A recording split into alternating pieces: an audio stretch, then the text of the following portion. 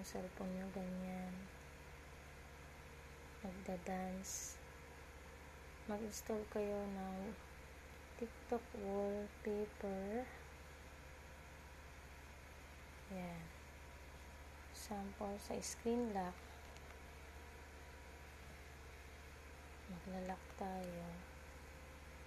Eto pag inopen yung screen lock yan ang lalabas.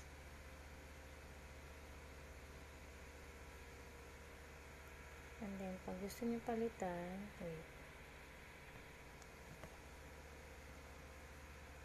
Punta lang kayo sa wait. Ito, install nyo dapat yan. TikTok wall picture. Yan. And then, pag mag-change kayo ng wallpaper, parang kayo dito, natin yung video na ipapalit nyo. Sample to. Punta lang kayo dito sa set as wallpaper, then click nyo yan. Then trim, kung kasi ang video nyo ay 15 seconds lang. Cut. Kung gusto nyo, kung ilan lang, ayan lang siya. Then done. So, try natin. Ano siya.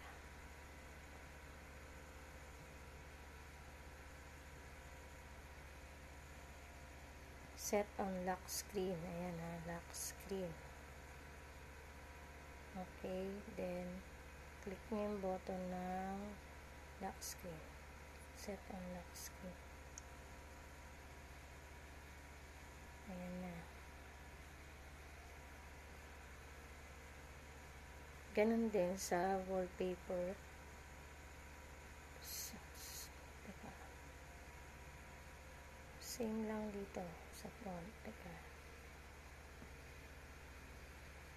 Yan, ganyan din. Okay? Mas maganda yan, yung wallpaper. Install kayo ng wall, TikTok wall picture. Yan. Yan yan, okay? Sa mga may TikTok yan. Okay. Thank you.